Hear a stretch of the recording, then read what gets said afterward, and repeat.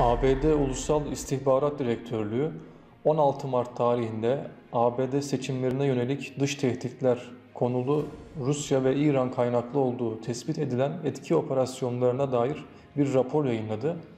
Raporda İran özelinde ABD seçim kampanyalarına çevrim içi ortamda müdahale, ABD karşıtı dezenformasyon faaliyetleri ve İran'ı öven içeriklerden ve paylaşımlardan bahsedildi.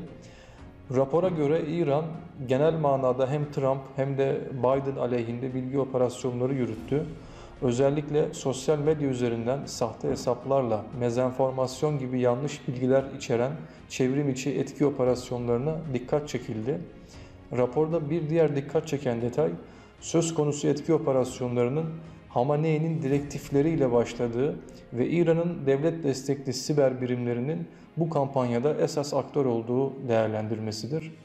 E, ayrıca İran'ın ABD seçim altyapı sistemlerine herhangi bir siber saldırısının tespit edilmediği de özellikle vurgulandı.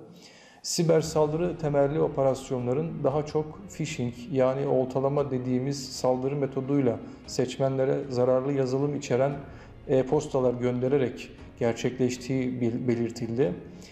İran'ın bilgi operasyonları kapsamındaki bu kampanyasının maddi zararlara yol açmadığı da değerlendirilen raporda İran'ın ABD'deki iç gerilimleri körükleyecek bilgi operasyonlarının ilerleyen zamanlarda devam edeceği ve seçim sonrası sürece yönelik istihbarat toplama amaçlı faaliyetlerinin de süreceği vurgusu yapıldı.